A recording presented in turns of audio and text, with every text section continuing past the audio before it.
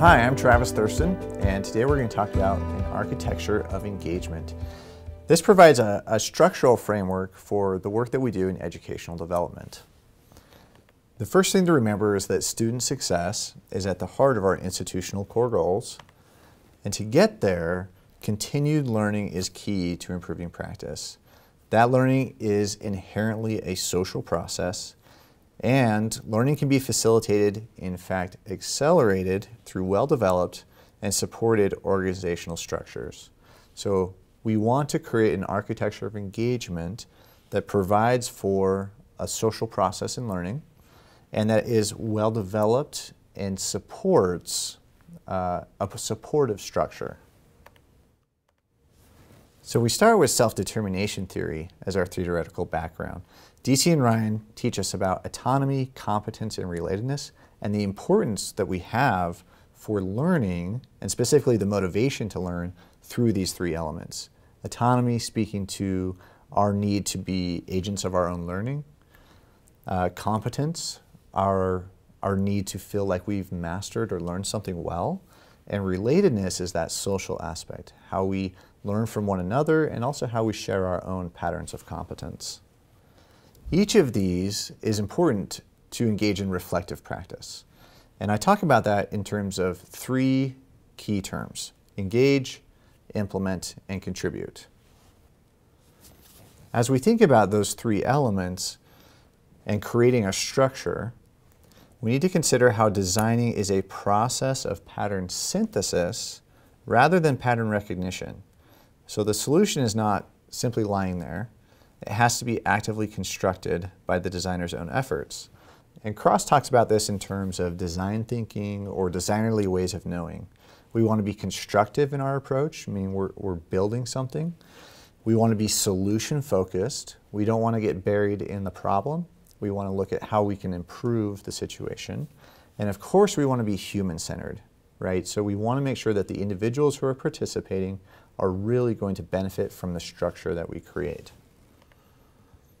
These two elements, course design and course facilitation, are wrapped up in the term instructor presence. And the term instructor presence comes from the literature on the community of inquiry framework. The community of inquiry framework is actually a way for us to operationalize these ideas from self-determination theory directly into our classroom, or in this case, directly into the way that we, that we facilitate educational development. And these are referred to by the authors as teaching presence, cognitive presence, and social presence. So, remembering that student success is the heart of our institutional core goals, we also need to remember that our instructors are the lifeblood. It's really important that we have instructors interacting with our students.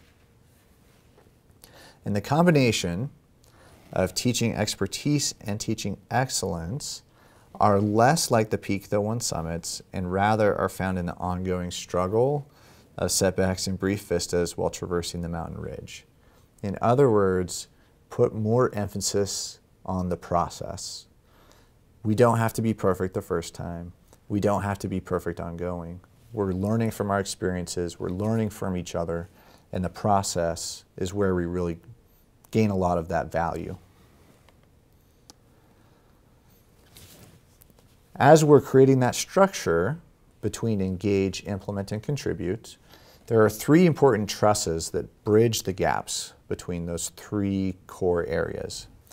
This is instructional development, as we're engaging our faculty and our instructors in learning the literature and what the evidence tells us about best teaching practice.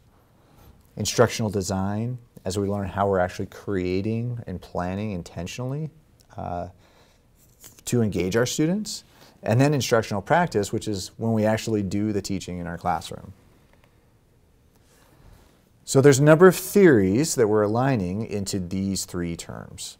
Deci and Ryan's self-determination theory, Vaughan and Garrison's community of inquiry framework, and then Culver approaches this in terms of professional mastery, professional agency, and professional accountability. And Kreber, in her foundational piece, talks about this in terms of teaching expertise, teaching excellence, and the scholarship of teaching and learning. So all of these align into these three key terms, engage, implement, and contribute. But they don't sit independent of one another. And I'd like to define them just a little bit more. So when we say engage, specifically in an architecture of engagement, we mean that we're empowering professional mastery through teaching expertise.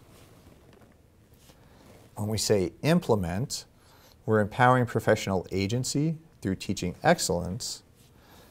And contribute means that we're empowering professional accountability through the scholarship of teaching and learning.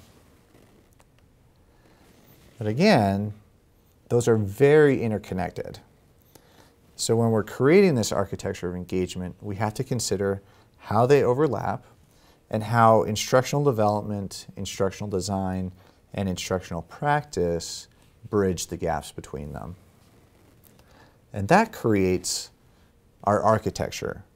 So engage becomes that mastery and expertise as we're engaging in both instructional development and instructional design.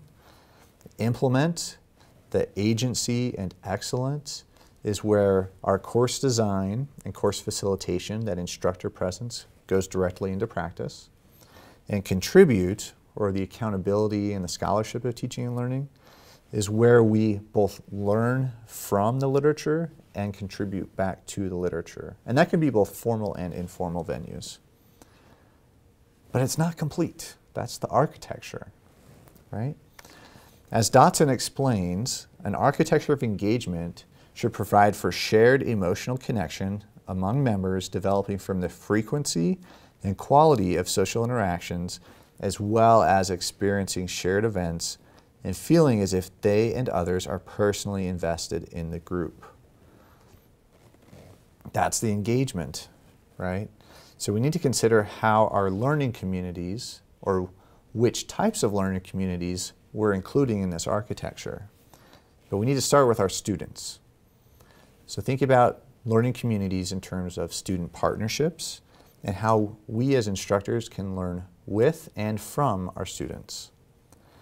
Next, considering all of our instructors, both tenure track and non-tenure track, adjuncts, and across the professorate, both new, mid, and senior level faculty. We also want to consider how we're engaging with local, regional, and national uh, teaching and learning organizations. And then, of course, we want to make sure that we're engaging all professionals, uh, librarians, instructional designers, multimedia professionals, all can have profound impacts on the way that we structure and engage with one another. And those learning communities sit at the heart of that architecture, which completes the architecture of engagement, both the structure and the interaction. And that is our architecture of engagement.